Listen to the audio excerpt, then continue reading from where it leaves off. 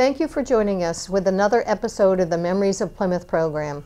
I'm Louise McCormack from the Plymouth Historical Society, and for the past five years, we have been reaching out to our community members to interview them so they could share their stories, uh, memories about what it's been like for them to live here, work here, socialize here. We're going a little bit off the track today, if I can. That's an interesting pun for the railroad from way back when. I caught that. Did you? And we would, instead of interviewing their live stories, we would like to specifically talk about a business that was here, an occupation, a profession that was here for years, Tenney Mountain. You and I have skied it. We have such warm memories as a result of it. And we have two of the four family members that worked it. Is that fair? They worked it uh, during their youth, headed by mom and dad. Mhm. All right. And I'm going to stop my part and pass it over to Gardner and Stephen Hall. Gentlemen, thank you for doing this. I, I think it's about time that we make sure that we have captured the history of Tenney Mountain. So it's really important. We, yes, we can get stuff on paper, but we want those memories of how this came to be. So I'm looking forward to listening from both of you. Oh, thank you. All right. Uh, I asked. I should ask the question first. When did it actually begin? When did you open the doors of Tenney Mountain? Well, because I stood under the sign and got photographed with Janny French and, and Penny Hall, um, it was December uh, 1960. 60. All right. And we want to give credence to mom and uh, mom and dad and the Frenches as well. Can you talk briefly about mom and dad? Yes, uh, father and mother were uh, uh, skiers. Uh, my father more avid than my mother, but uh, uh, she was a uh, she was a good sport and uh, and and uh, went uh, in uh, in the early days uh, uh, with him all over the place. Uh, I'm I'm not sure about uh, the the situation with uh, John and Hope. Um,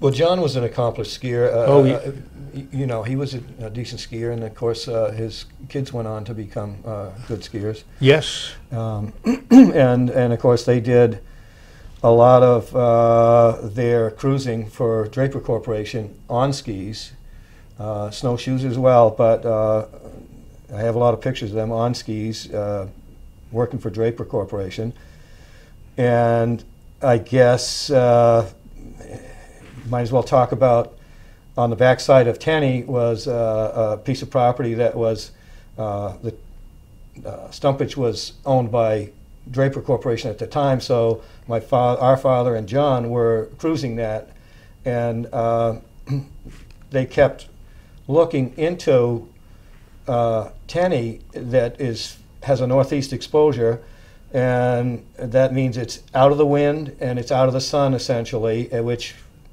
protects your snow, especially with snow snowmaking. That's very important.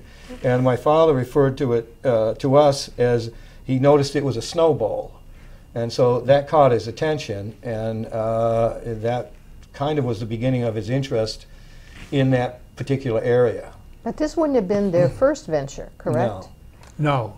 That's Uh, uh, Stephen uh, knows about the, that. the the initial uh, adventure started on family land in Alexandria when they established uh, when my my father graduated from Brown University. Uh, he uh, uh, they established the Cardigan Ski Club in 1938, and uh, with a 20 by 20 uh, a cabin uh, just down the road from the Appalachian Mountain Club Lodge. Uh, and uh, after the war, uh, we moved to Alexandria, uh, not on family land, by the way. Uh, and um, my right away, my parents purchased 750 acres adjacent to the Appalachian Mountain Club uh, uh, in an area called Clark's Pastures, which was still open pastures at the time. It had a westerly exposure. Uh, it was an, a place where the Appalachian Mountain Club people used to uh, gravitate to uh, to uh, ski. And eventually, um, my father built, uh, you know, installed a 600 foot rope tow uh, on that property. Uh, but even then, he was thinking ahead, and I know he had talked to me about, uh, you know, not so much, I overheard him talking about a double chairlift along the northern uh, property line uh, of the uh, pastures. So uh, the the operationally the rope tow worked great. Uh, fiscally, uh, it was a disaster because uh, very few people came uh, to ski there because of its inaccessibility. I don't know that we ever lacked any snow, to tell you the truth, in spite of the exposure. And that's on Cardigan. Yes, Cardigan Mountain in Alexandria. And, uh, so it was uh, left idle for a while, but reinstituted and moved to the Duke's Slope at uh, the AMC Lodge, and uh, we ran it for a year, uh, and then sold it to the AMC, uh, and uh, in that year we. Uh, my father made back all of his uh, investment in it. The, the real expense was uh, the rope.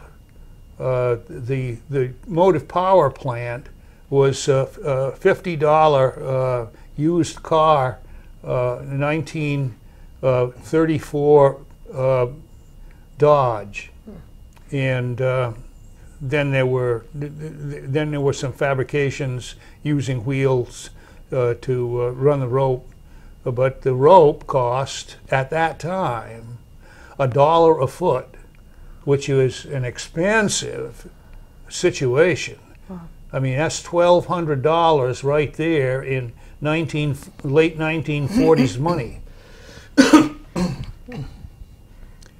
so the the focus once we moved to Plymouth became uh, the land in the snow bowl at Tenney Mountain. And uh, my father and John very quietly uh, purchased in a checkerboard fashion uh, pieces of land uh, with and without stumpage. Uh, and uh, so as to get the land. And I think that ended up being 1,200 acres. 1,200 and then another 100 acres, which is now Plymouth Conservation Land, for a total of 1,300 at one point. But Yeah. uh, basically, what my father described as, as a quarter of a township, Yeah. roughly 6,000 acres being a township. Wow. So the the first time that I uh, learned anything about in, of an interest in Tenney Mountain was we were driving south on Route 3A, and my father says, looks over and says, "What do you think of that terrain up there?" And I thought, uh, that's kind of an off-the-wall question. I, I didn't know what to think at the time. But by uh, the uh, probably around in late March, early April of 1957, uh, my father invited me to, uh, uh, in the early morning, to walk up uh, with shouldering our skis on the crust up to the top of Tenney Mountain and ski down through the woods. And partway down uh, we stopped and he questioned me about what I thought. And my answer was, and I remember this really clearly it's like Sunapee, only better. And uh, by the by the summer, they had uh, he, he and John had uh, mapped out the area uh, that they uh, how they wanted to design the parking lot and the road and the ski area and, and not. But they still hadn't bought the very last Was that the bank land. lot that was the last one? I think it I think might it have was the. Bristol Bank because I remember him trying to make sure that uh, uh, the president of the bank didn't realize what he was doing, um, so that they could put this together and buy it. And by the way, uh, that the price on all that acreage uh, was uh, six thousand dollars, and a lot of it at a dollar an acre Yeah. uh, and, and some of it at a lot more. so that was the going price for land in those days. Yeah. What background did Mr. French, your dad, have relative to knowing, was one a survey, s- surveyor? Oh, uh, Both. yes, both were surveyors, both were foresters. Thank you. Both you. worked for Draper Corporation. My father uh, was the first forester uh, there after the war, uh, and uh, Wayne Lewison had originally been the forester. And so he went to become the mill manager, and he hired my father as his replacement. And then, because of the amount of uh, territory that Draper had to manage, which included uh, lands in not only New Hampshire but in Vermont, New York State, New York, and, yeah. and in Maine, uh, he needed a deputy and uh, very swiftly uh, hired John French. So they, they worked together for a long time before anything to do with Tenney Mountain. When they worked for Tenney Mountain, when they owned Tenney Mountain, did Mr. French have a certain responsibility and your dad and the wives have a certain responsibility? Well, the corporate structure was uh, my father was uh, our father was president. Uh, uh, John was vice president. Oh, Uh, he was treasurer too, I thought.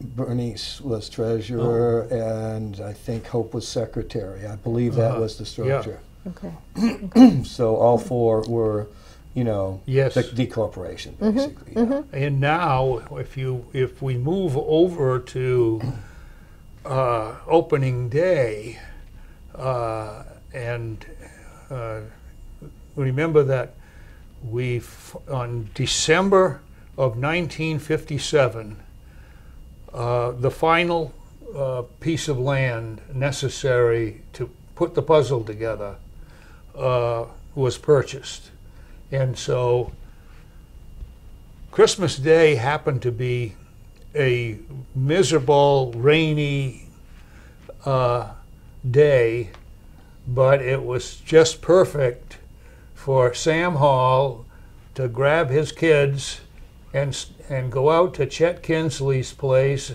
and start cutting the road in from Kinsley uh, uh, house on up uh, on on the uh, surveyed uh, route that he and John had already laid out. Was that when Roy Valia showed up? Yes. Said, I know what you're doing. Yeah, Roy Valia uh, came up from his little store uh, to uh, look at what's going on uh, because we didn't stop uh, at, at afternoon of Christmas Day. It was, it was vacation, so we were working right up to New Year's. And uh, uh, and Father said, uh, "Oh, we're building a road." He said, "I know you, Sam Hall. This is a ski trail." well, it was a road, To a ski Roy trail. had Roy, Roy had figured it out. the little store you're talking about? That's Yes. not the one that's still there. Popsicle Yes. Joe's, yes. Yes. Wow. Yep. We I should find out. Popsicle I should Joe. find out the gene- the history of that Oh, store yeah. at some point in time. Yeah. Anyway, um, so we tried to open earlier on, uh, and the very quickly the the road was cleared up in the parking lot uh, was uh, uh, bulldozed. Uh, the road and, and the trails were cleared, uh, and the lift line halfway up. And I remember also uh, going up. I'm trying to think when this was. Uh, probably it was uh, uh, spring of '58, uh, March, April, uh, we uh, got up early in the morning and scun up the mountain between with uh, uh, with uh, uh, my father Keith and uh, John French, and we laid out the 6,000 uh, foot uh, lift line, and uh, we're back for breakfast. Early bird. Yes, Yeah, there was a lot of that going on in those days. yeah, that's right. Up and at And, 'em. you know, we were no time to hang out. No. So, uh, at any rate, uh, the initial effort that was put in was what we called Little Tenney. It was a thousand uh, foot T bar on a practice slope uh, that had about a 22 degree. Uh, was a Slope. tough beginner slope. Uh, it was pretty steep for beginners. Uh, yeah, six acre uh, trail, Yeah. uh, uh, slope, Yeah, and, and a small trail. and a around. small trail. Yeah, and uh, the the the T-bar lift that we purchased was uh, a what is called a Tebru for Theodore Brunner. It was a Swiss-built uh, and designed lift, and uh, it came overall packaged. I but, remember when we got it. but no instructions that I recalled. when when that was purchased, uh, well, when it arrived on, Yeah. on the docks in Boston, Yeah. uh, uh, Dad got me up in the wee hours. I mean, it was just pitch black out, and I was in my PJs, and he took me and he put me in the passenger seat of uh, Stub Monroe's logging truck.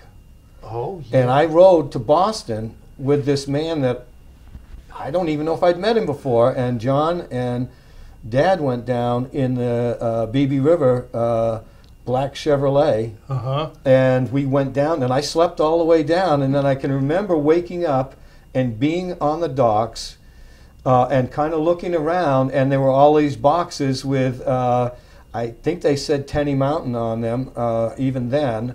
Uh, and they were loaded, of course, on uh, uh, Stub Monroe's uh, uh, logging truck, and then we went back. So that was my first rem- memory of the Tebru Yeah. uh, thousand foot lift, which I then was one of the first to ride on, along with Dickie Searles and Janie French and my sister. They used us as uh, guinea pigs and weight as as they about Jack- adjusted. Jackie Henderson. Oh, I'm sure Jack was there. there all the kids were there, and uh, it took about an hour to go up the lift the first time because they were tinkering with the clutch and the VW engine, which it was powered by. And I think that uh, uh, Randy Currier's dad was over there helping with them because it was a, a VW engine, uh, and um, I know that. Eddie Ladd was, uh, Yeah. I think, around during all of that, and of course the engine was up in the roof That's, system, that's right. and they were up. It's a Volkswagen industrial engine, so Kip and Joe serviced it. Right, it was like a 40 horse engine running that lift with stanchion Yeah. towers and spring loaded turbo Yeah, yeah. gearboxes. And this morning, when I grabbed that gavel, I stepped on a Tebru T bar in order to reach for it, which I still have. How did you know that you needed this um, Tebru company to work with, deal with? I don't know how he came up with that. I, I have no idea, but Okay. but it's interesting.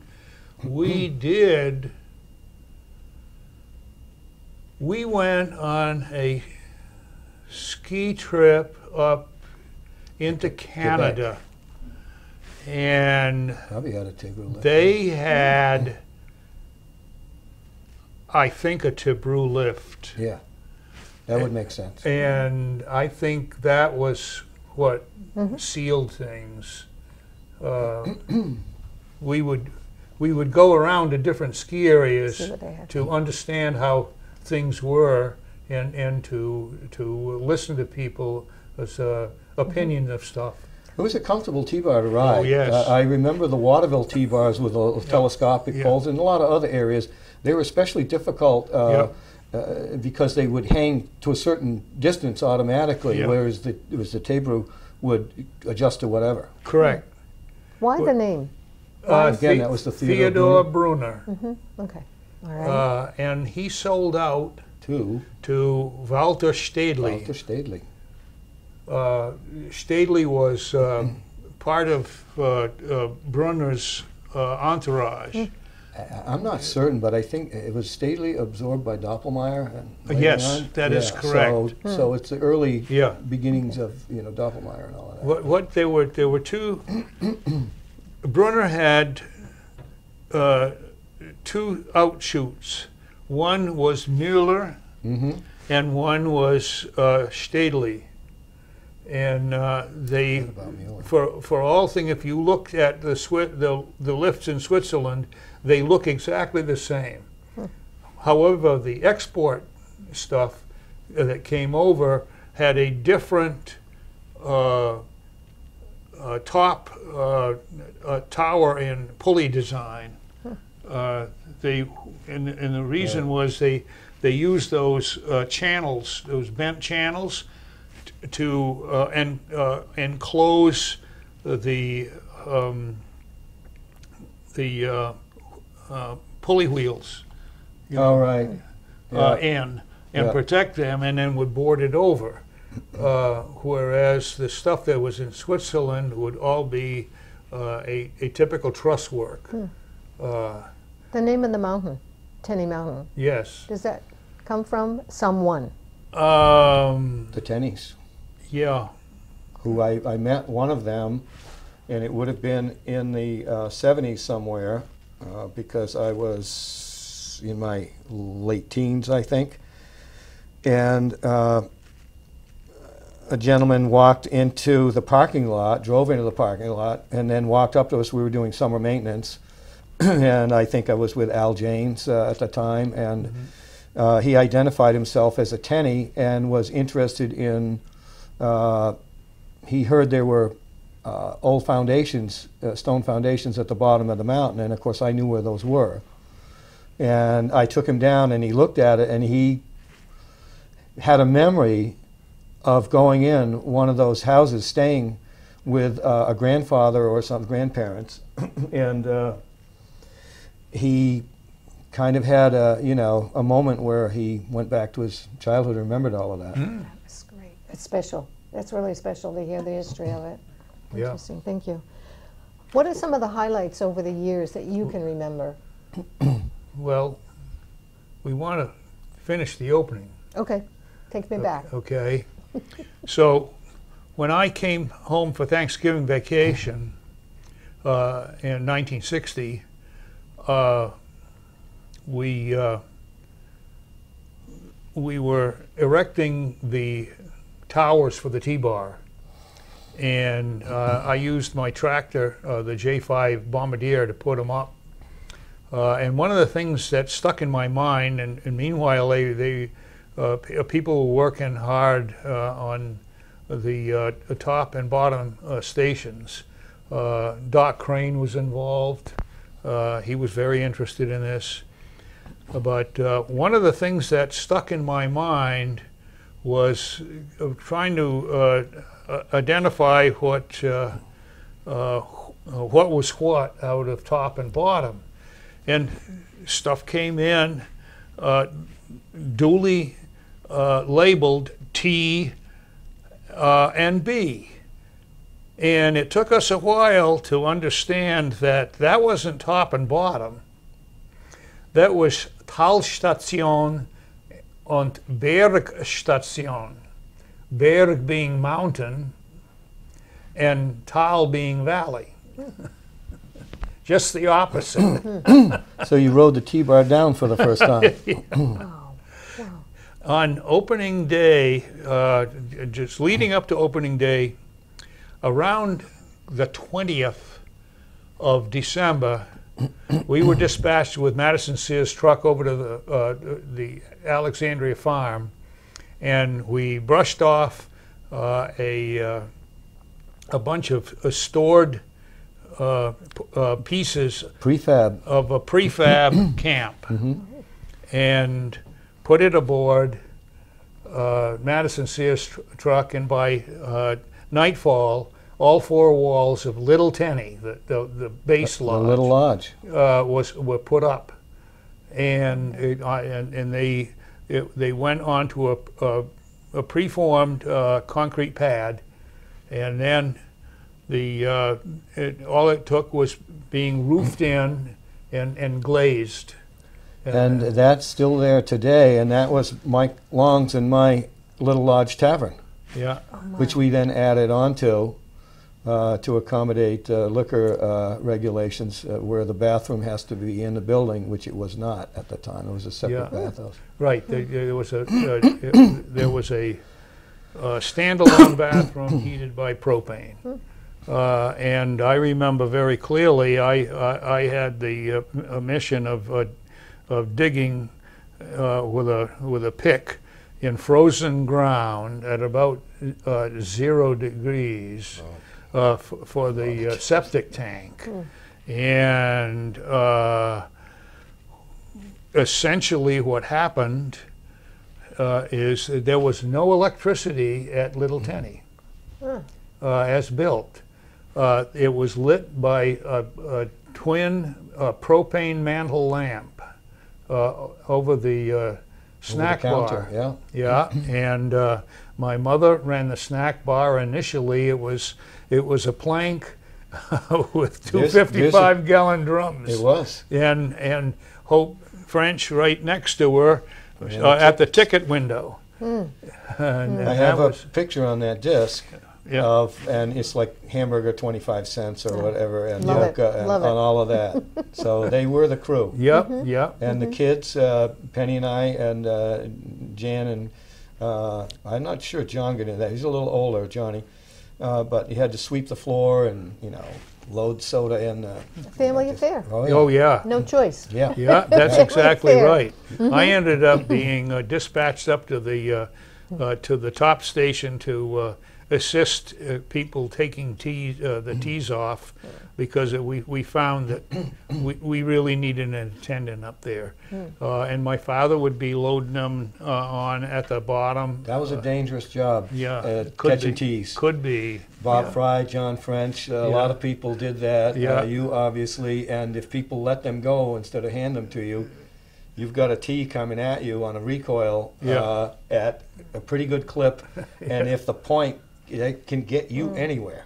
Wow. Yeah, yeah, Kind of, the trick was to grab the rope yeah, and control the recoil Yeah. back into the spring yeah, box. yeah. So, it, it, and, and uh, for a groomer, we, we had the, uh, uh, the J5 Started with a Bombardier. bombardier and Yeah. a ridiculous roller Yeah. that looked more like some kind of windmill with Yeah. fins on it. And Oh, that was a, that was a, a cast-off blower. Uh, That's mode, what it looked uh, like. thing from Oh. BB River. that makes sense to me now. it was, it was a scrap item.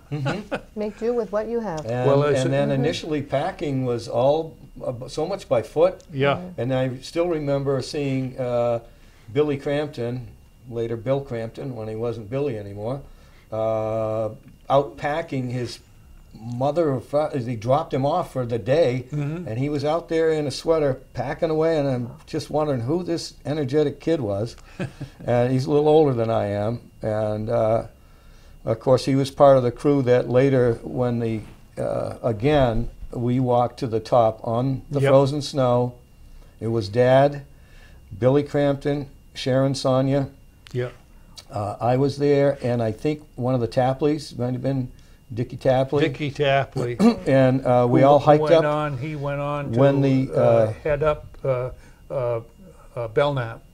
Oh, wow. Yes, yeah, Wow. Gunstock. Yeah, Gunstock. And, and he's and he's out west. Uh, Yeah. Last I knew, he was out west at a big mountain. yeah, So all of us went up with uh, Dad, and and then we skied down, and the lift line was completely cut. And I'm not sure if the other trails, which were initially the Goodwin and the Patterson, correct. after the loggers, Yeah, and the uh, two families. They named it after the two families that cut the trails. Thank and you. we uh, we skied that. That's the first time I skied the mountain, and that Yeah. would have been um, in the early '60s. Yeah, it Oh, was that's when I was at, uh, in the army. Right, right. Think about the weather you had over time. And of course, we can go back as kids saying the weather today is not like the weather then. Uh, we remember being there skiing, and whoever put the blankets over us, over us, it was that cold. Not Yes, on us, yeah, but over yes. us. I, I'm thinking, did you ever record? what was the highest? What was the lowest temperature? Well, I, I know when I skied, uh, the lowest temperature with Wes Howard, I don't know what we were thinking, but we were about 12 years old. And we went out, and the, the, uh, the mercury read 40 below zero at the top. That wasn't the wind chill. That was 40 Oh, below yes. Wow. straight Okay. temperature, um, which I've experienced a number of times. It is New England after all. Uh, but we decided we had to go for a run, which was really foolish. And uh, and the wind was blowing a little bit, and of course you're skiing. So I estimated at one time it was like 100 below equivalency, whatever. And partway down by Tower 12, Wes was having a meltdown. You know, he's an 11 year old kid. His mitts are frozen solid. They're soaking wet. They're frozen solid. It can clack them together like, mm. uh, you know, they're just bricks. And I had to tell him, "You're you're going to die out here. You're going to keep going." Mm-hmm. And we mm-hmm. went down. That was the only. Both of us got frostbite. Mm. We were covered, mm. like you said. We we had scarves and everything on, and the blankets and all of that. But that was the coldest that I remember. That's a, uh, uh, above, uh, above Tower 12 or 13 uh, was, uh, Well, there's a wind there was, a- it, it, it opened itself up to the wind up right there. out of Canada, which is why there are windmills there. And right. quite frankly, Yeah. uh, I'm the one that called Kinetic Energy back in the late 70s and said, "There's potential for wind towers Yeah. there." So anybody who hates the wind towers, Yeah. don't call. yeah, the, uh, uh, uh, and, and that was a six, that's a six thousand foot uh, chairlift, which is it's uh, eight hundred feet longer than the aerial tramway. It's four hundred feet longer than uh, Waterville's main lift, uh, and it it really is on a cold day. it's just too far. It's it was a mm. twelve minute ride. right. People would say, Yeah. "Oh, it's such a slow lift." Well, the rope speed was 500 feet, and and Waterville's was 500 feet. Every fixed grip was 500 feet at the time. The difference being. It was a thousand feet longer than everything else. Yeah. That's the difference. Mm-hmm. Yeah. That's why it mm-hmm. seems slower. You're going a lot farther. That's right.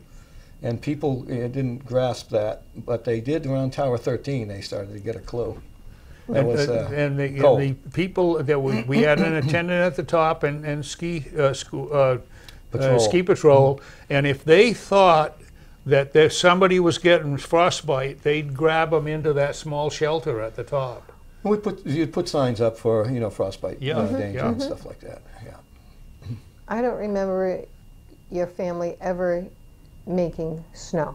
No, No, we never did. this guy And we made did- a little snow on Russell Street Tried to. with Keith. You made sleet, kind of. You- Yeah. You, you got something with the mist blower. Yes. That they blew chemicals on uh, the power lines, defoliants, and had the.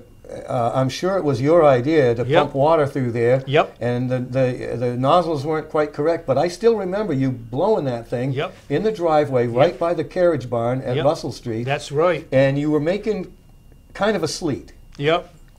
But not on the mountain. No, no, not on the mountain. No, but, and uh, I uh, I looked at the uh, the uh, economics of the whole thing, uh, and it if you make snow, it doubles your capital investment, and it at least triples, if not quadruples, uh, your operating costs because not only do you have all these people making the snow, but the on top of this, you got to groom everything every night because what you got is young ice. You don't have snow. Especially in that day. Yeah. Very early snowmaking was uh, We- very water laden. We at Tenney, we only needed one groomer for the whole mountain. Look at the number of groomers that you see at Waterville or Oh, yeah. Loon. And you need or- real machinery to do that. Yeah. But that was at a time when we still had a pretty decent uh, uh, snowfall. Yes. Uh, we had some tough years, but the snowfall was more, uh, uh, not necessarily reliable, but there was a deeper snow uh, uh, pack uh, in those days compared to now. Uh, and, uh, and of course, again, the fact that Tenney held its snow was extremely Yes. important. Well, I, I remember I charted uh, uh, length of season. And what stuck in my mind, and this is in the early days, but with the big mountain, uh, we were open a maximum of 126 days uh, and a minimum of 85. And that 85 days, well, I remember that real clearly because approximately the 15th of March, it went from full winter, I mean, full winter, to full spring in seven days of rain. Well, if you think about it, we just experienced that right now. Yeah. Uh, the snowpack, such as it was, was great up until uh, that heavy rain in the last two weeks. Yep. And and I had a, a deja vu all over again. Uh, Mike Long and I on that time at that time at Tenney, uh, it poured hot water, and we went from full skiing and full coverage to nothing, and we sitting at the little lodge tavern going, well, that's the end of that. so we started drinking beer and cleaning the place up. There's no sense in uh, imagining that we're going to go on. It was over with. What year was that? It was in the late 70s, mid 70s, mid 70s, I would say 76, 77, 77, somewhere in there. I, I can't remember. Well, I remember because I had the Little Lodge Tavern, Let it go. Let it go. uh, so it would have been right in that area. so- Yeah. I want to know if you had celebrities there. Did anybody Well. show up in those years? Well, there's, there's, I don't know. Do you want to talk about the the Shah or anything? Um, Should we? If that's a no-no, we can. Uh, I'll I'd make. it- rather not. We All right. have All right. made a, a, an agreement Yes. to Okay. not ever divulge Yeah. that. Okay, but the audience can read into what you're saying. Sure. Sure, that sounds great. But again, highlights. Let's talk highlights of your time, and perhaps the low time was when you didn't get the snow. Oh yeah, Oh, my that's for goodness. sure. Very difficult, and of course, the season ticket was based on ten uh, days. yeah. So it was the equivalent of 10 day tickets. Yep. And so, you know, in order to serve our customers, we had to be open at least 10 days. Now, if we're open, I mean, it is incumbent upon the skier to come and show up. We felt, at any rate, we did our part. Now, we were never only open 10 days, but on the year that we were open 85 days, it was very nerve wracking because you're sitting here going, well, do we have to uh, do something with the season tickets? Do we have to give people their money back? To and and typically in the ski industry, uh, nobody really gives money back. They will now, uh, I, and I don't know how it is so much today. Uh, you know, you'll get vouchers for another day if you, but but pretty much it's i- i it's incumbent upon the skier to come in, evaluate the snow, evaluate the day, and, and decide if they're going to buy a ticket. But by the same token, we have to provide the skiing. And when it's 85 days short, you start to worry, oh, we, we want to make sure we service our customers. Yeah. And we did hmm. just, I mean, we did times 8.5, but still, knowing full well that people can't be there every day, it still makes you think. Might be fun for the audience. Can you think about the price of a ticket then, Oh, goodness. and what the price of the ticket is today? I remember what the average price was in the later part of uh, the 70s, and that would have been about a $20 uh, all adult, all area ticket at the top. But the average price would be lower than that because you had child, you had half day, you had all of this bringing the price down, at which it came to about $10 a person. Well, it seemed to me that we were at four ninety-five when we opened. Oh, it was. I, I have single ride tickets for a dollar, um, which we sold single ride tickets Yeah. back then, uh, and half day tickets, which is still a thing. Yeah, Um, uh, very, very. Uh, sixty-five dollar. inexpensive. Um, season ticket. Hmm? Sixty-five dollars. sixty-five for for a single uh, uh, all-season pass. And uh, and again, as far as innovation, uh, our father was, I believe, one of the first to have transferable tickets. In other words, you could buy a season ticket if you were a family, and if you had a guest come, they could use that season ticket, no name uh, on it. Otherwise, the ticket goes with the person. So that was an innovation, and the whole thing of all of the uh, eh, ski ambassadors that you see everywhere. We had a ski ambassador that was written up in uh, uh, Skiing Magazine or Ski Magazine, one of the two, and that was Tom Smith. Mm. And basically, what you would do is he would meet you at the top of the mountain, and he had a sign that said, "If you want some accompaniment uh, down the mountain, and if you want some tips on skiing, he was a very good skier. Uh, he would ski with you, and that was." I've never heard of an ambassador before that, and I think that was probably a, a first of its kind or very close to Is it. that a Tom Smith that was associated with Waterville? Well, he lived up on uh, uh, in that area, Ah, and uh, so he was uh, he was photographed in uh, Ski Skiing magazine uh, uh, specifically for that uh, position. You Well- were innovators. You were Well, truly well, in the field. I- I d- d- it wasn't wasn't us necessarily. It was was- it was Dad. Mm-hmm. yeah, right. And and uh, He wanted everybody to ski. His Yes, his yes. primary goal was that you would come and ski and you would enjoy yourself. Yes. And that lends itself to the saying on the wall that said, "At Tenney Mountain, there is no terrain developed especially for those who cannot learn to ski." Yeah. And the gist of that is, if you're a ski bunny, if you're a wannabe, if if you are not an avid, you know, skier that really wants to ski, go somewhere else. Basically, Yeah. that was his nice way of saying, Yeah. go to the Frou Frou Mountains and sit by the fire and sip Right. your whatever, yeah. but not here. He, uh, there were some other things that were unique. Uh, uh, Lessons. number one, uh, Tenney employed a registered nurse on duty at the base lodge. Uh, obviously, she was dressed in ski clothes, uh, but I believe this is, was a result of father's experience with having a registered nurse at Beebe River uh, for everything. She took any accident that took place, she uh, filled out an accident form, etc. She provided uh, uh, first aid and training uh, for all of the ski patrol. The second thing is that the ski school, uh, once the big mountain was uh, opened, the ski school was subsidized by the lift tickets. And if you bought a, an all-day lift ticket, uh, you got a coupon worth one-sixth of a ski lesson. And you could accumulate, uh, uh, transfer, do whatever you wanted with that. All you had to do was, was uh, be able to present six of these coupons and you got an, uh, a, a ski lesson. Uh, every um, every uh, season ticket came with two uh, free ski lessons.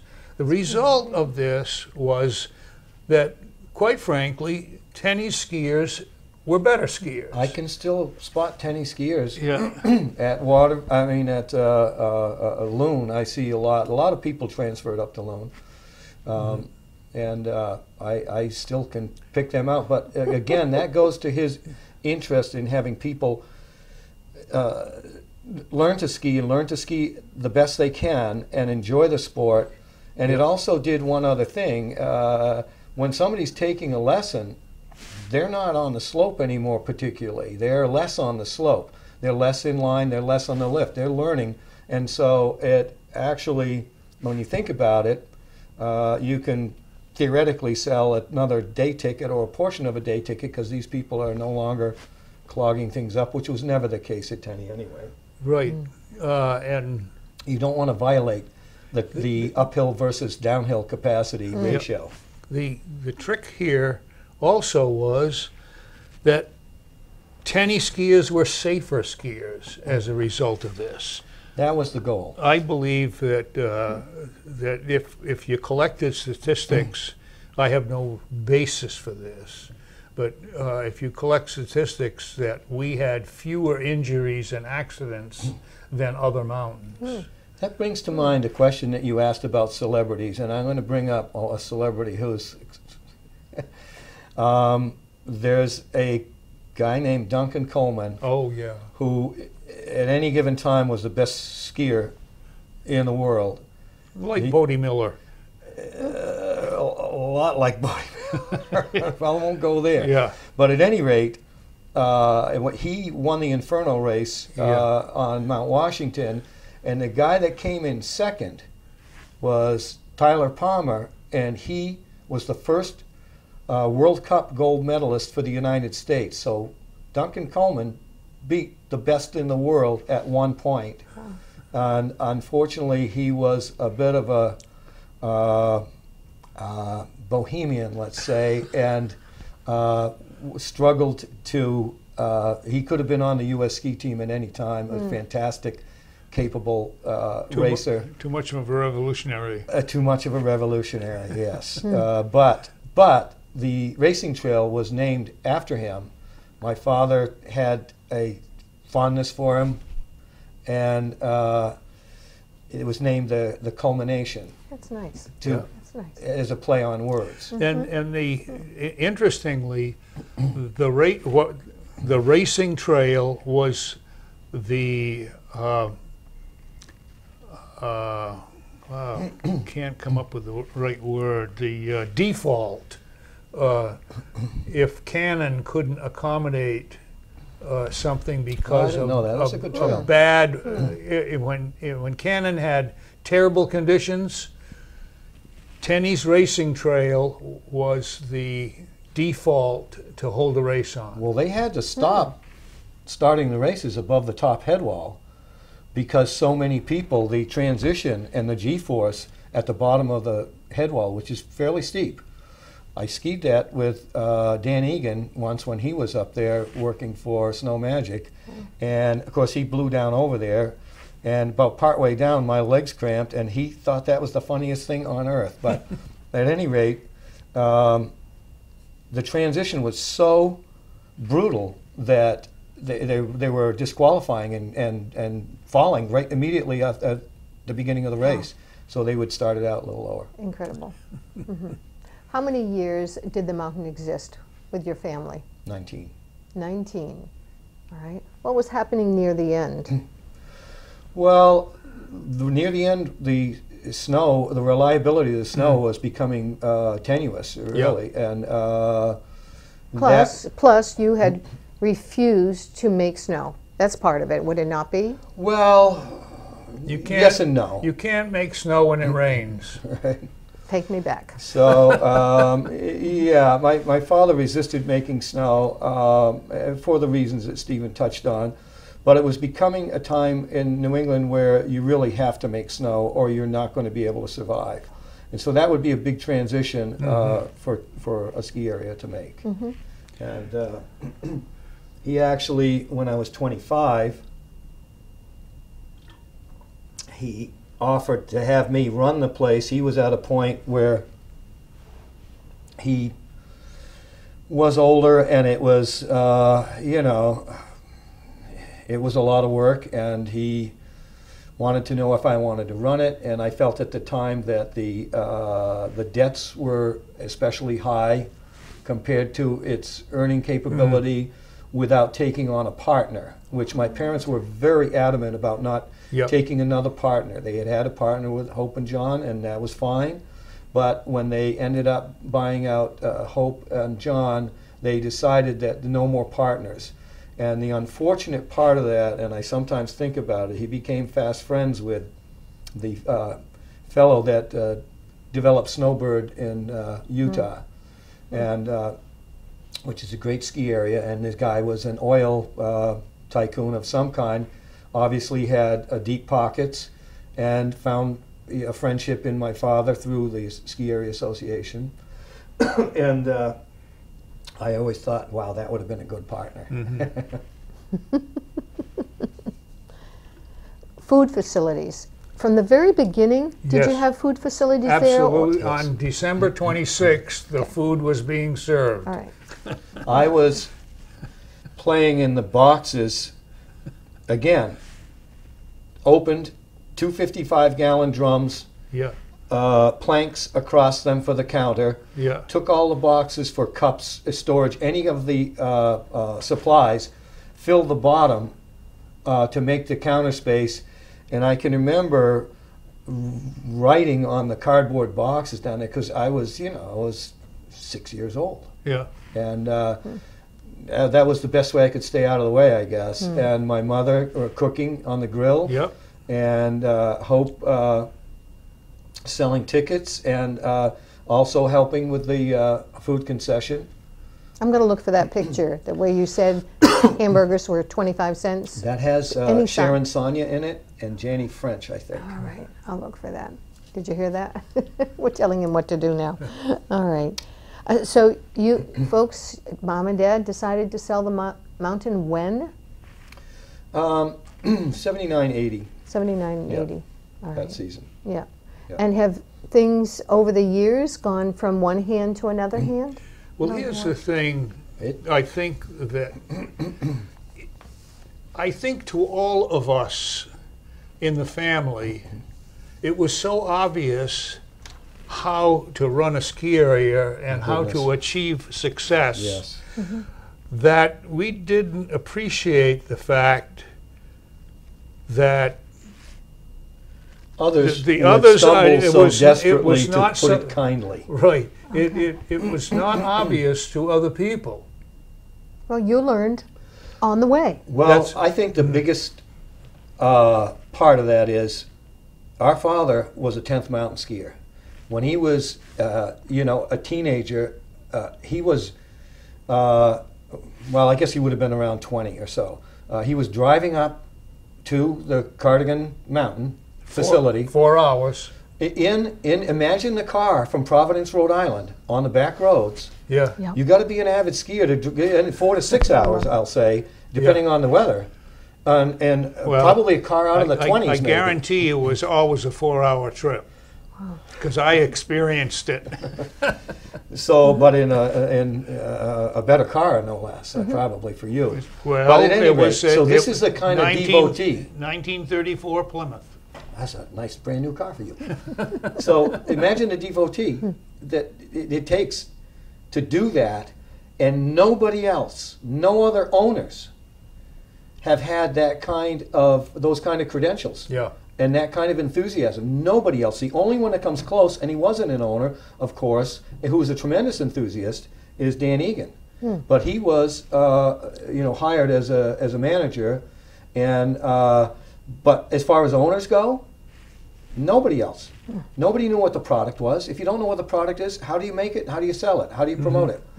Um, and my father went on to put up the first three lifts at Loon uh, for Sherman Adams. He put up the uh, the lift, the, the big chair in uh, above Moosehead Lake on Big Squaw Mountain. Uh, he was uh, involved with Tom Corcoran as far as you know friendly advice. This is why Waterville started with Stadeli Lifts. It was because of my father, um, and so he was very involved. And in fact, Dan Egan presented to my father, which I received on his behalf, the uh, Bill Whitney Award uh, for uh, being a, a ski pioneer in the state of New Hampshire. Incredible. And uh, Incredible. so he was one hell of a guy as far as skiing goes. Well, mm-hmm. everything goes back to the love of skiing. It does. Oh yes. Yeah, it really does. It does. Yes. And we're so lucky to live where we live Mm-hmm. and have participated. I stopped skiing one year ago, but at least we had something we looked. I know, sorry. We we had something to look forward to mm. every winter. Yes. Well, you Every need something winter. to look forward to in Yes. I agree. yes. Yeah. I would ask a personal question. Your mm. children, do they ski? Yes. Both of mine went over to the dark side, which means they're snowboarders. Oh. Oh. oh. And my son is a exceptionally good snowboarder. My daughter was a good snowboarder, but I don't think she snowboarded in a while. She lives in New Jersey now, so that makes that more Yeah. A little difficult. Uh, My two boys, uh, uh, in pretty good shape uh, uh, on uh, skiing. They skied at Tenney.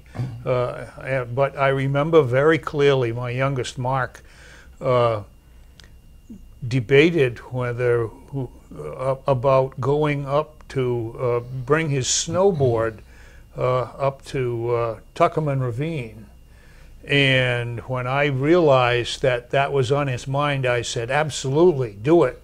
Because I knew that he would be a, a, a uh, rather unique individual. It was very early on in the snowboarding, and he was the he was the only kid in, and he was very young.